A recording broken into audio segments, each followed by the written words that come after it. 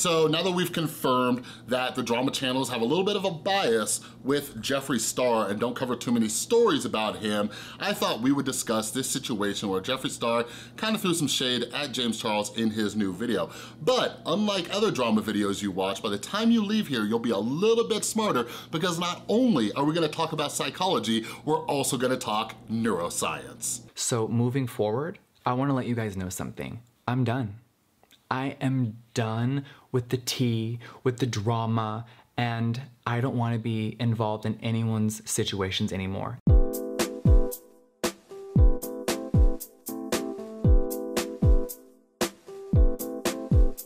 What is up everybody? This is Chris from The Rewired Soul where we talk about the problem but focus on the solution. And if you're new to my channel, what I try to do is take different topics going on in the YouTube community, try to see what lessons we can learn from them to improve our own mental and emotional well-being. So if you're into that stuff, make sure you subscribe and ring that notification bell. Now, for those of you who are not in the know yet, if you want to understand a little bit more about the bias and everything like that and drama channels versus James Charles. Watch the video I just did yesterday about James Charles versus Team uh, T-Spill and the drama channels. I dive into psychology as well as some philosophy and everything like that. Go check that video out. All right, so yeah, uh, I got some messages and things like that and saw clips from Jeffree Star's new video. You might not know this, but I do not watch Jeffree Star's content, all right? So I wanna discuss this. So a couple things. Not only do I wanna talk about bias, but I also wanna talk about people changing and actions speaking louder than words. So here's the thing, those of you who know me, like I am against cancel culture. What I really want people to do is just start to understand like, why are we harder on these people than we are on these people, right? Like why are channels harder on James Charles than they are on Jeffree Star? Now, simple answer to that is the psychology of expectancy theory, all right? People expect Jeffree Star to act the way that he's acting. But I just wanna discuss a little bit because Jeffree Star continues to have this kind of free pass, but he keeps saying he's gonna change, and that's something that he hasn't really done. So those of you who don't know the backstory, Jeffree Star and James Charles, they used to be thick as thieves. They used to be good, good, good buddies. So when James Charles' uh, palette first came out, there was all sorts of stuff happening. So uh, somebody ended up destroying James Charles' palette, and James Charles got very frustrated and upset about it, and he said some things publicly about it. And then uh, Jeffree Star and James Charles, they got together and they destroyed some other makeup that they didn't like and they donated some money to charity and everything. All right, like it was a very cool little moment of friendship for them. Also, uh, those of you who know uh, the drama channel Cody Rants, she had an allergic reaction to uh, James Charles palette and Jeffree Star and James Charles, they joined together and they, you know, shaded Cody Rants in her new video. And it was terrible. It was terrible too because like James Charles audience like went and attacked Cody. And like, let me tell you, like what I'm really trying to really talk about in a lot of my videos lately is like, it's okay to disagree with people, it's okay to criticize people, but like the hate mobs and the ridiculousness, that stuff needs to stop, all right? Like we should be able to have these conversations and just kind of get our wheels turning without people getting outraged over these subjects. But anyways, like I said, Jeffree Star and James Charles, they used to be super duper good friends. Now, like, if you haven't read my book, Canceled, Inside YouTube Cancel Culture yet, make sure you do. It's always linked in the description down in the pinned comment below. So in it, I discuss how I kind of set myself up for failure. when I befriended drama channels. Actually, here's, here's an excerpt from that book. Seven years ago, I was taught everything was my fault. This is a great way to live. When you realize everything is your fault, or at least you try to think that way, you take responsibility and start improving your life. In psychology, they call this having an internal locus of control. So when I say this was completely my fault, it was. The dumb decision I made was trying to befriend drama channels, and they ended up turning on me and playing a huge part in taking me down. Again, I don't blame the drama channels for this. I blame myself. Blaming them would be like blaming a porcupine for quilling me because I made the dumb decision to pet it. That's what porcupines do. So I can't blame the porcupine. Drama channels start drama. It's in their DNA. So what I'm getting at is you saw that James Charles and Jeffree Star's relationship was being petty and throwing shade at people and all this other stuff. And that's why we gotta be mindful of who we hang out with.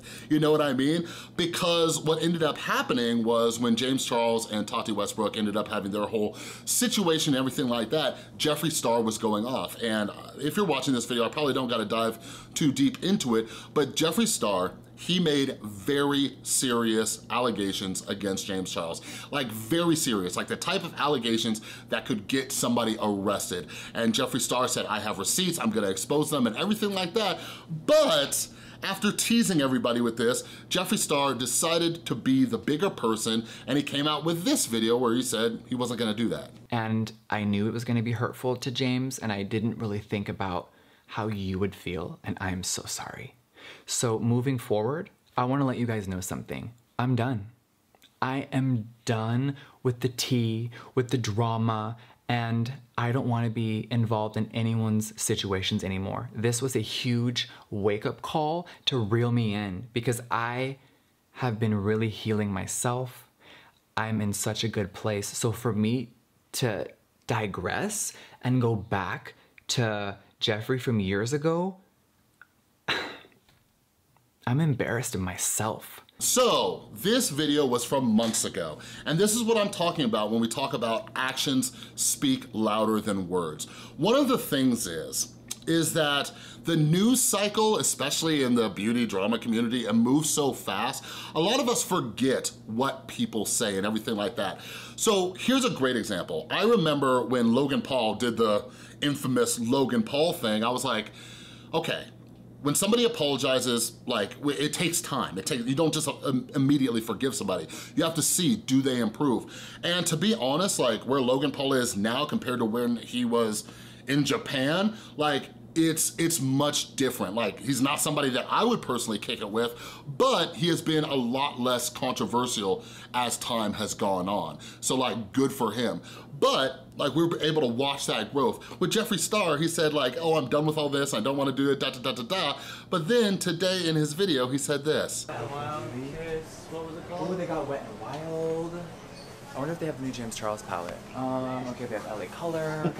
they have, it's right here, you guys. Oh my God. So I just want you guys to think about that. I've talked about this on my channel before. Like, you need to realize who you're watching is influencing your thoughts, your behaviors, your mood, all right? Many of you know I'm big on mental health. If you keep watching certain types of content, it's it's going to affect you. Like hell, like maybe my content, uh, content affects you in a negative way. Quit watching it. Watch things that improve your thoughts and your emotions and how they go. But like when you're watching people just constantly be petty and everything like that, like how is that benefiting you? But anyways, um, as many of you know, I've been really diving into like moral psychology and everything like that. So we sit here and we ask ourselves like, why will the drama channels like cover so such small stories when it comes to James Charles, but not from Jeffree Star?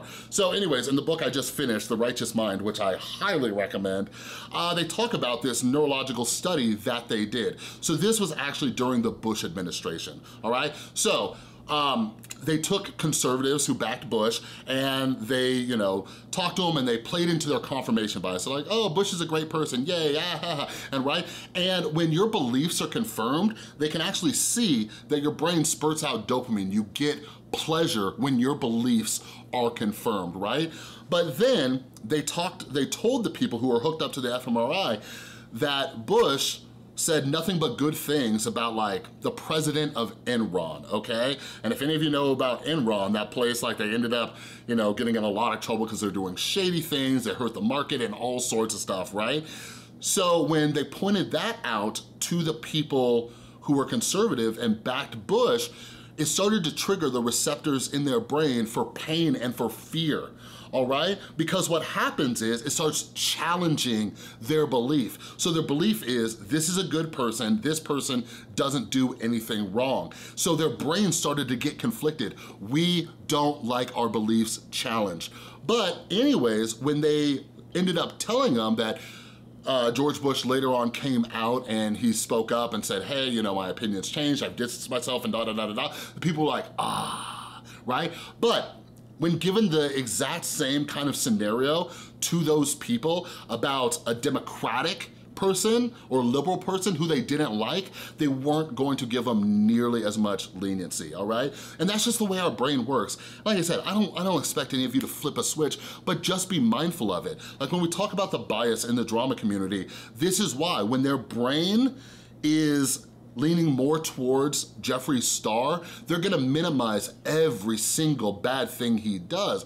But since a lot of the drama community doesn't like James Charles, it's going to inflate everything that he does. So just recognize that. Watch drama channels all you want. Watch my content all you want. I just want you to be able to take some of this information and bring it outside into the real world and try to improve your life, all right? But the last thing I just wanna remind you of is just pay attention to people and remember, actions speak louder than words, okay? But anyways, like I said, down in the description, down in the pinned comment, if you haven't picked up a copy of my book, Canceled Inside YouTube Cancel Culture, make sure you get it because I also have an entire chapter about people who are immune to cancel culture and it's people like Jeffree Star, Trisha Paytas, Keemstar, Shane Dawson, and Tana Mongeau, all in that chapter. So go check it out, all right? But anyways, that's all I got for this video. If you like this video, please give it a thumbs up. If you're new, make sure you subscribe and ring that notification bell. And a huge, huge thank you to everybody supporting the channel over on Patreon. And a huge thank you to everybody else who supports the channel in other ways, like getting my merch or my books and all that kind of stuff.